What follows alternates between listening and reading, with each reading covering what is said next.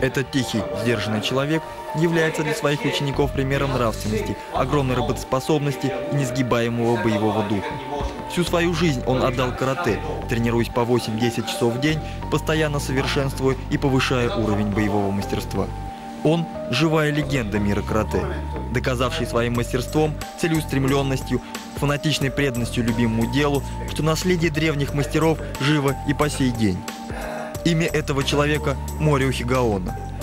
Сенсей Хигаона родился 25 декабря 1938 года в городе Наха, столице острова Окинава. До 14 лет он был самым недисциплинированным ребенком в округе. Морио не любил ходить в школу, прогуливая ее на берегу моря, за что ему постоянно попадало от отца. Приучая сына к дисциплине, он заставлял его выполнять многочисленные физические упражнения, постепенно готовя сына к занятиям карате. Хигаон отец добился успехов в освоении стиля сёринрю, но преподавать он не любил, поэтому обучил сына только базовым ударом по макиваре. В возрасте 14 лет Хигаона стал серьезно заниматься карате сёринрю под руководством Цунетака Симабукура. Но уже в 1954 году 16-летний Хигаона решил проникнуть в загадочный сад дома Тюдзюна Мияги, где проводились тренировки Годзюрю. С этого момента его жизнь изменилась. Морио был шокирован ощущением огромной силы, которая исходила от каждого занимающегося.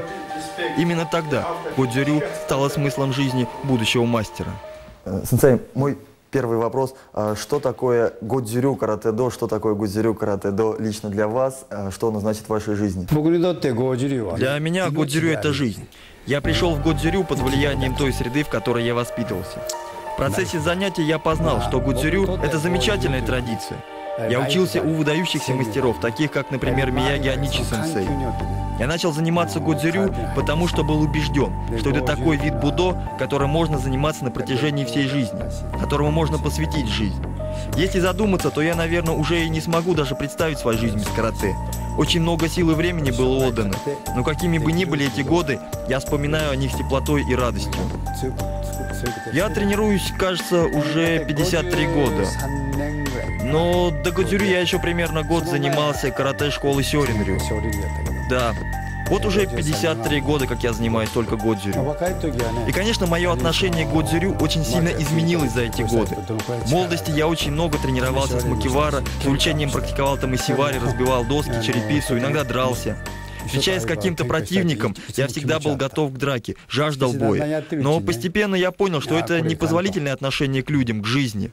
Вот это и есть духовный аспект практики карате-до, когда начинаешь понимать, насколько человек в действительности слаб, беззащитен. Когда начинаешь понимать это, начинаешь относиться к тренировкам еще серьезнее, отдаешь им больше времени. Один из занимающихся, Аничи Мияги, удивил его больше остальных. Его сила и скорость были невероятны. Этот человек стал учителем Хигаоны и вот уже около 50 лет передает своему ученику тот огромный запас знаний, которые накопили древние мастера. Аничи Мияги всегда помнил наставление мастера Тёдзюна Мияги. Как в карате, так и в жизни надо много раз возвращаться к одному и тому же, чтобы по-настоящему понять. Имея нескольких учеников, Аничи большую часть времени отдает Хигаоне, передавая ему все, что узнал от Тюдзюна Мияги. В России и в Европе Э, термин сенсей понимают очень часто как э, только человек, который учит э, техники, но не душевному состоянию. В Японии на Окинаве все немножко по-другому, и звание сенсея нужно заслужить прежде всего как человек. А как вы думаете, сенсей это какой человек, какими качествами он должен обладать для того, чтобы его студенты пошли за ним? Моим первым сенсеем был Мияги Аничи. На наших занятиях он всегда подчеркивал, что карате – это не только техника, что у карате есть и духовный аспект, который также необходимо изучать, что в карате существует этикет, который тоже очень важен. Он все время побуждал меня изучать эти аспекты. Собственно, понимание необходимости изучать духовные аспекты карате происходит естественным образом в процессе серьезных занятий карате. Непосредственным партнером Морио по тренировкам был Сабуру Хита, который занимался Годзюрю более 10 лет и был известен как очень сильный боец. Руки Сабура были крепки как сталь. Часами они повторяли базовые упражнения, включающие различные виды кихон-кумите, упражнения на реакцию и набивку тела. Во время спарринга Сабура работал в полную силу, не щадя своего партнера. Удары сэмпая невозможно было блокировать.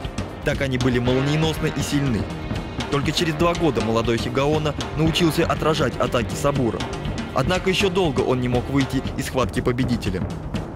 Сенсей Хигаон рассказывал, что за первые шесть лет тренировки его ребра были сломаны много раз, и некоторые травмы были настолько серьезны, что из горла шла кровь. Во многом благодаря учителю, который обладал большими познаниями в традиционной медицине, Море удалось сохранить здоровье. Характерно, что за это время он не пропустил ни одной тренировки. Из-за своего упорства, граничащего с фанатизмом и несгибаемой силы воли, проявленной в поединках, получил прозвище Кадзи – тот, кто никогда не сдается.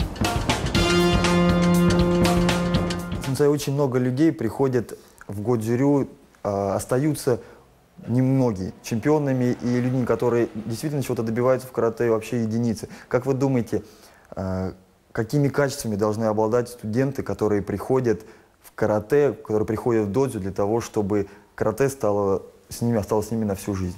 Вы знаете, я ведь сам, когда был молодым человеком, очень хотел соревноваться и побеждать на соревнованиях. Поэтому я в ту пору целиком сконцентрировался на кумите. Это естественно. Любой молодой парень мечтает о победе. А потому молодежь, которая хочет соревноваться, побеждать, концентрируется на занятиях кумите и не проявляет интереса к тренировкам в ката. Думает, что ката вообще не нужны. У меня самого есть такой опыт, и я хорошо это понимаю. И я думаю, что помочь здесь можно только в том случае, если помочь ученику осознать цель практики кота. Кумитео у нас есть противник, цель — победить его. В кота же противника нет. Ты тренируешься сам собой и бросаешь вызов самому себе. Это нужно понять. И здесь очень важна роль инструктора, который несет большую ответственность. Он должен объяснить ученику, что прежде чем перейти к спаррингу, нужно изучить кота, освоить технические приемы, практиковать кота санчин что подлинную ценность имеет не победа над соперниками на соревнованиях, а победа над собой в практике кота, поиск того, что незримо.